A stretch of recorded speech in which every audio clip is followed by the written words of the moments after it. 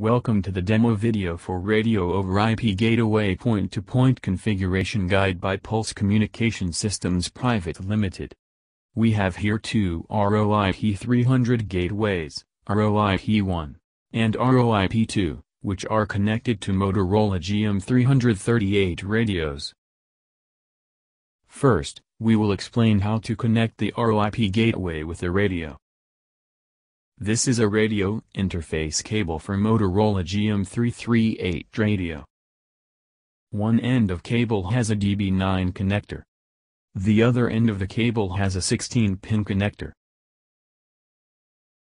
The DB9 side connector plugs into the ROIP radio port at back side. The 16-pin connector plugs into the radio 20-pin accessory port. Top side of connector is mentioned on the interface cable for direction while plugging. As our cable has only 16 pin, we leave two pins at both ends of the radio accessory port. Similarly, we interface the second ROIP with the Motorola radio.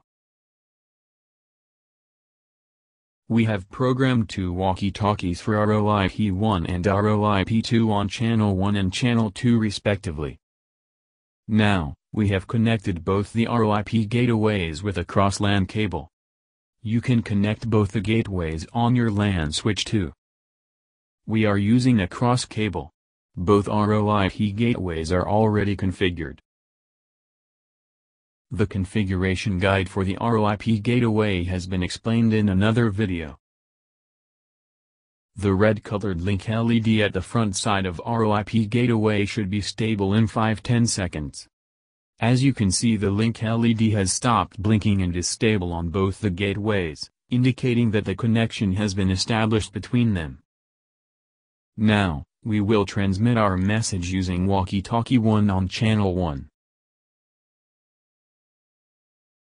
You can see that the yellow color CSQ LED on ROIP1 starts to glow while we speak. At the same time, the green color push-to-talk LED on ROIP2 glows.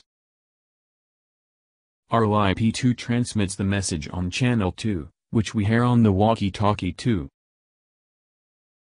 Similarly, if we speak on walkie-talkie 2 on channel 2, ROIP2 will relay back our message in real time to ROIP1. And walkie-talkie 1 will play our message. That is all in the demo video of Radio over IP Gateway Point-to-Point Configuration Guide. For any questions or queries, please email us at sales at pulsecom.co.in. Thank you for watching.